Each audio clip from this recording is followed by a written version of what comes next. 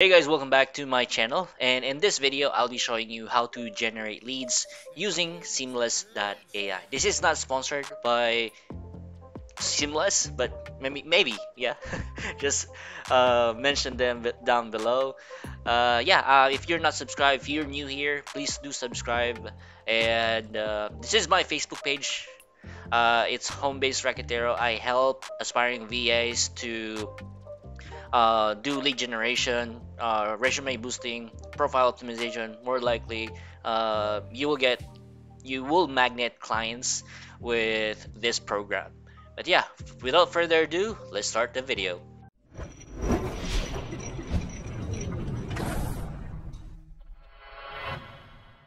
Alright guys, ito yung seamless.ai na ginagamit ko araw-araw sa mga clients ko. Um, like right ngayon, two of my clients are using Seamless.ai.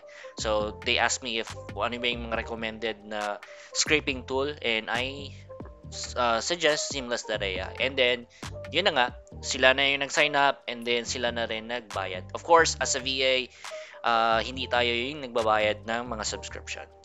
It's gonna be the, the client. So once na nandito ka na guys, ang, ang, ang gagawin mo lang dito is magsa-search ka lang ng mga leads. So this is similar like Apollo or any scraping tools out there. And yung pag-subscribe dito guys, uh, meron siyang 1,000 credits. So meron na lang natirang 347 kasi nagamit ko na yung 800 kani-kanina lang. And for this video, I'll be showing you what my day-to-day -day task is. So ngayon, naghahanap kami ng mga realtors in United States. So pero ang gagawin mo lang, um, if ever no, uh, meron explain ko lang kung ano yung meron dito no. So on, sa day-to-day task ko, ang, ang kiniklik ko lang dito, ginagamit ko lang dito talaga is search. You can go by company. You can type in the company name or the website with with the, .com or you can search by their full name, title, seniority, department, location, keywords, industry, employee size, revenue, and technology. So these are the filters. So since naghahanap tayo ng realtors, ang gagawin ko lang dito is magta-type lang ako dito ng sa titles ng realtor. And include lang natin. And of course, tatanungin mo si client kung ano ba yung target niya, if it's just one particular country or first world country or uh, kahit ano pa. So, tanungin mo talaga yung, yung client mo if ano yung location na target nila. So, let's say for example, United States yung target ni client. So, uh, i-filter lang din natin yung United States. And once we have this, uh, these uh, two filter and hit search. And yun, meron na akong na napindot dito ng mga realtors right? So since ito, meron na siyang mga uh, first and last name, their uh, their socials, their company socials and their company name, website, their email address, and the phone number. So, ang gagawin ko lang dito, since na na-click ko na, I'll just go through 30 second page. You can just type in and then hit enter. So, para diretso ka na dun sa page na na last na na, na, na nakuhanan mo ng data. So, if may nakita kang ganito, and then since na na-filter na natin yung realtor and then yung location, ito yung mga leads natin. Now, kanina nakita natin yung mga email contacts nila, but ngayon wala. So all you have to do if wala siya dito guys, ito delete lang natin to no. Ayan. Delete one contacts para malinis lang siya. Alright. So yan. Ito is 25 to. And then all you have to do is just click find all. Yan find all lang natin. And nandun na lahat. So, ito yung magic ng uh, seamless.ai. So, meron ka ng uh, email address and their you know, phone number. Mo meron namang landline nila and then their also mobile number. So, hintay lang natin matapos lahat na dapat wala ng researching. May isa pang researching dito sa baba. And it would take some like a few seconds or a minute lang but it's it's a, it's worth it compared sa you know looking for another uh, like manual mo hahanapin like pupunta sa website nila and what not yun yung mga ginagawa ng ng iba na walang tools like ma- pupunta sa website, hanapin talaga or pupunta sa mga LinkedIn, then hahanapin nila yung kani-kanilang email or their phone number. So let's say for example, uh, natapos na to siya guys, ano, wala nang researching.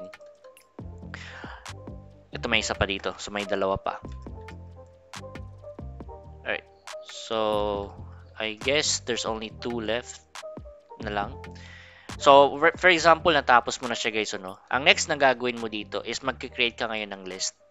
So, meron akong na-create na list dito na realtors. Let's say, for example, gagawa tayo ng um, real estate uh, agents. For example lang. And then, click mo lang tong create list. So, meron na siyang dalawa. So, all you have to do, once na na-create mo na yung list na to, se-select mo lang to. Yan, contact. And then, ditong may plus sign dito, lists. Click mo lang yan. And then, add selected to list. Saan natin ilalagay? Doon sa real estate agents. Or, sabi natin dito na lang sa realtors by default na lang. Kasi dito ko nilalagay. So, yan, naka-check na siya. So, once na na-check na, na, na siya, na-select na natin, hit natin save. So, pag-click natin ng save, automatically, mapupunta yung leads doon sa list na yon. No, paano, pa, paano natin uh, natin makukuha yung details na yon? So, yung ibang ibang VAs na ginagawa nila is nagma-manual sila ng copy paste ito. Nagka-copy sila ng ganito and then i-enter nila isa-isa papunta sa Google spreadsheet or Excel file. Now, sa atin, dito sa Seamless, madali na lang. Kasi ang gagawin mo na lang is since na napunta natin sila sa, sa sheet, so like say for example in one day meron kang 800 or 1,000 na na-generate na leads, um, la, lalagay mo lang sila lahat sa, sa list, lahat, and then punta ka lang dun sa list na yun. So punta ka lang dito, click mo lang to, and then there's three dots here, click mo yan, and then view list. Once na na-view list mo na siya, As you can see here, uh, nag, nag-generate siya, naglo-loading lang. And then meron siya ditong connect to CRM. Kung meron ka bang CRM, uh, HubSpot, Pipedrive, Go High Level, pwede siyang i-connect. Uh, I don't know if it's Go High Level connected ba, uh, if sa Seamless, but yeah.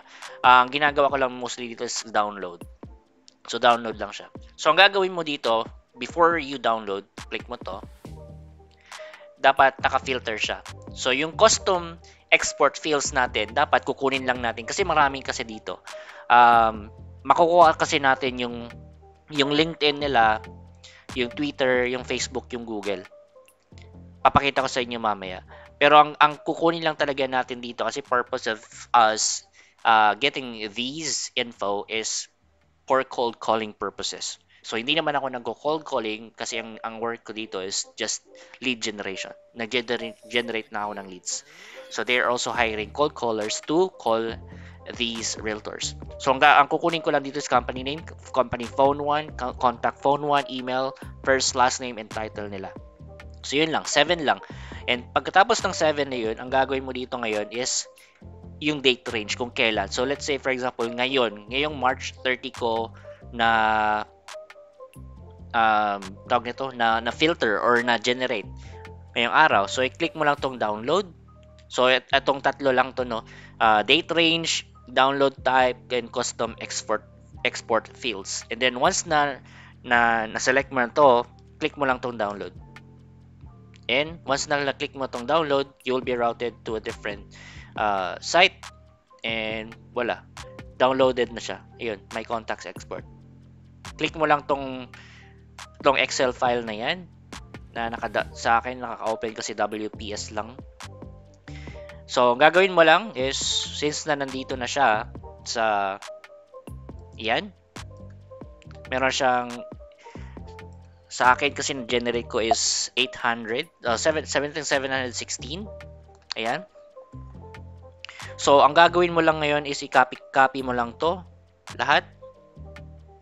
So, say for example, kinopy mo to and then pupunta ka na sa main sheet mo ngayon. So, dito sa main sheet namin, is nandito na yung mga mga leads. So dito mo siya ipe-paste guys. So let's say try lang natin i-paste guys for for this uh, video purpose lang ano. So control A natin, control copy, alt tab tayo and here paste natin. And, hintay lang natin siya kasi medyo madami. And there you go. Meron ka ng uh, information and then pwede, naman, pwede mo siyang i-download to a CSV file, upload it to your CRM, and then sila na magko-cold calling.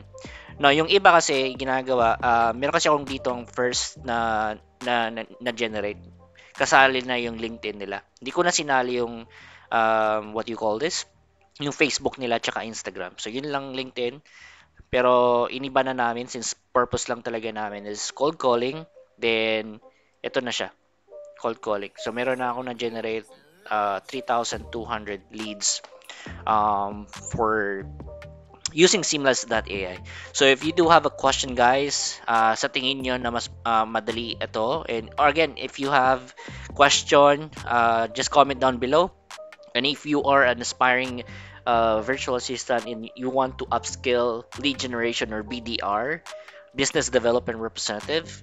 Comment down below or you can just message me on my facebook page because uh, i do one-on-one coaching for uh, for you guys to upscale in magnet clients as well. So yeah that's pretty much it and thank you for watching this video. Have a good one. Bye for now. Peace